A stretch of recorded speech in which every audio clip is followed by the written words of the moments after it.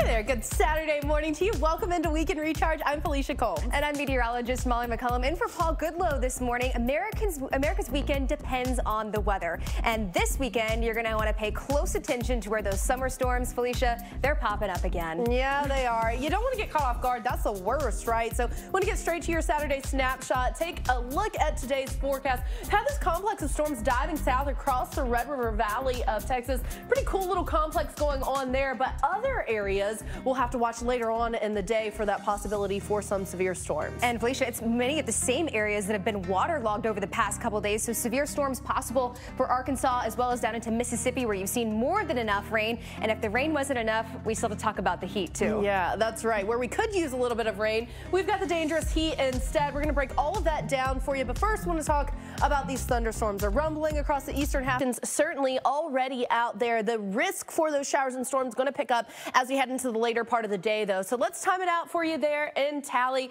You'll notice as we head into your lunch hour, we're starting to see that first pocket of unsettled weather moving in, crossing that I-10 corridor. Some of those, again, could have some gusty winds with them. And then watch what happens as we head into 5 o'clock. We're really going to see a lot of the focus of this uh, as you look farther east, Lake City getting in on that, that 75 corridor. But Tallahassee, I think it's really going to become more sporadic for you as we head into the evening. So if you are trying to make uh, dinner plans there in Tallahassee, you might be okay. I'd say just keep an eye on the uh, sky. Apalachicola, though, rounds of rain and storms in the forecast for you. Let's head up to Columbia, South Carolina now, where here's lunchtime. You're trying to get out and do some brunch for your Saturday, whatever you might be doing, getting the yard work in. Get out there early because the later part of the day in Columbia, it's like we flipped that switch. And you've got the storms bubbling up as we get that daytime heating going. Lake City back into Columbia, down into Hampton. We've got those scattered storms kind of bubbling up. Some of those are going to have some heavy rain, some gusty winds, maybe even a little bit of hail with them. 7 o'clock in Columbia, not a good time to uh, plan a dinner on the patio there. You want to you want to stay off the patios for your dinner later on there for your Saturday in Columbia. Let's head to Raleigh now, where you guys are going to have some sporadic showers around Fayetteville and New Bern early on. But watch what happens. These are really, really scattered in nature. The Outer Banks, you're going to have some showers moving through. So while you do have that chance for some storms in Raleigh, it looks like the bigger focus here is going to be closer to the coast near Wilmington. And of course, Molly, it is the time of year when people are trying to get out there. They're trying to enjoy things like, say, uh, some fishing.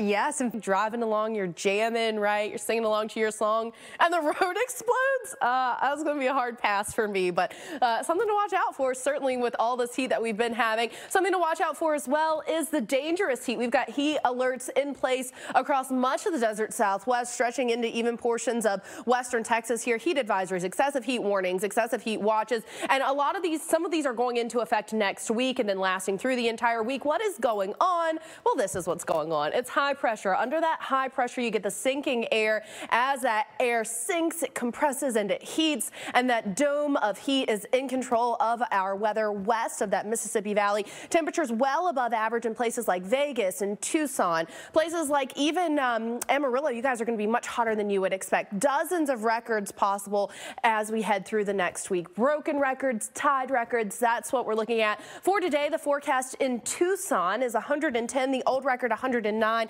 That would break that record set back in 1995. In Alamosa, Colorado, 89 is the forecast. And this is as you get up in elevation. So uh, upper 80s might not sound like that hot, but when you're talking about going up in elevation, it's getting pretty hot. So in Phoenix, the average first day of above 110 degrees is June 18th. The forecast is to get above that today, so we're a little bit ahead on that. Molly?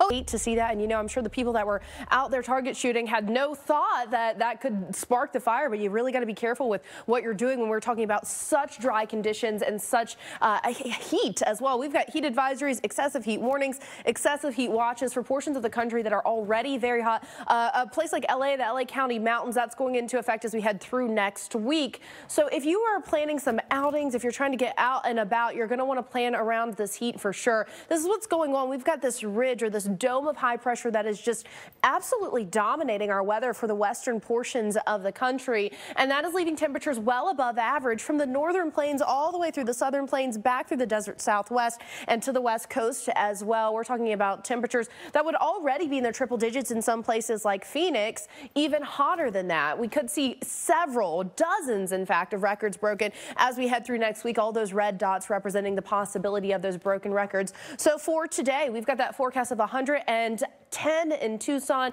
That would break the old record of 109 set back in 1995. The forecast in El Paso, 107 degrees today, guys. That would break that record of 106 set back in 2013. So it's a hot one out there, Molly. Oh, well, Cook's so peaceful and nice. Water. You just want to get out in the water. Yes, me too. me too. Half past the hours weekend ro recharge rolls on. I'm Felicia Combs. And I'm Molly McCullum in for Paul Goodloe. This morning, thunderstorms moving across the south, once again bringing the threat for flooding. Let's take a look. Player. And a lot of the storms that we saw even last season, that rapid intensification can be a game changer. Now, that's not just a term that we throw out there all willy-nilly. You actually have to meet certain criteria for it to be considered rapid intensification. You've got to see at least a 35 mile per hour wind, wind increase in 24 hours. This is really difficult to forecast because rapid intensification isn't something that models historically or really a factor into the forecasting. One in three storms, though, do undergo rapid intensification, and that's mostly with category four or five storms undergoing that rapid intensification and becoming even stronger, which is the last thing that you want. We usually see this in September that's the peak of hurricane season. And typically in the Gulf of Mexico, where we have very, very warm water, the Caribbean Sea or the off the southeast coast, where we've just got pockets of abundantly warm water. You see that here, rapid intensification frequency, especially across the Gulf of Mexico. That's particularly dangerous because you'll notice there's so many areas of land and highly populated areas right around the Gulf of Mexico. So rapid intensification, a huge issue when it comes to forecasting the tropics. Well, you got a weather science question? Question. So connected the weather and whether you should wash your car or not, right? This is a song that gets stuck in your head, right? Uh, well, uh, we gonna, I don't know. This wouldn't be one stuck in my really? head for me. Yeah, no. During Burlington, sunshine and 80s. Detroit, not so not good. so though. much in Detroit. If you're in New York, probably a good day. Maybe even a little bit on the cooler side to yeah. wash your car. Charleston, though, don't do it today. Plenty of rain coming towards your area and some thunderstorms, too beautiful in Colorado Springs. Oh. Does it get better? Birdie, birdie or bogey? Looking like a birdie forecast One of my there. favorite places. As we go to Chicago, eh, it looks more like a bogey because we've got some afternoon thunderstorms moving in. So watch out, especially out on the golf course. Yeah, later part of your afternoon there in Chicago for the game, the baseball game that's going to kick off should be okay. Today in Philly at 4 o'clock, perfect baseball weather. Does it get better than that? No, it really doesn't. And as we move into Cleveland, also, I mean, look at this. This is amazing. Two 70s for baseball weather. Doesn't Absolutely get better. Perfect.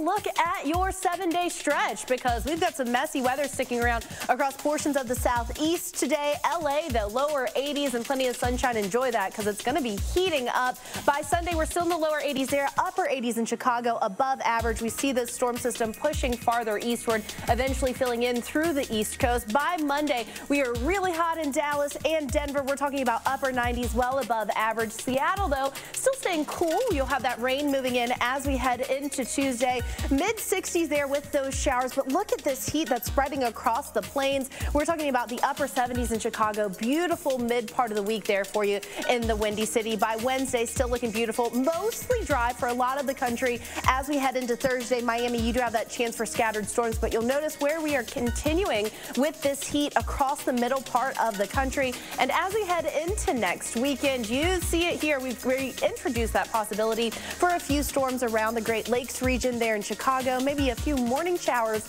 to kick off your Saturday.